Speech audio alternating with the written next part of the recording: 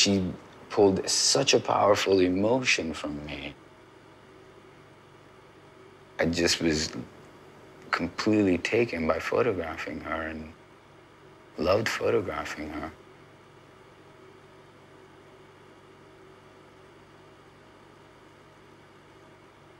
Obsessed, Calvin Klein.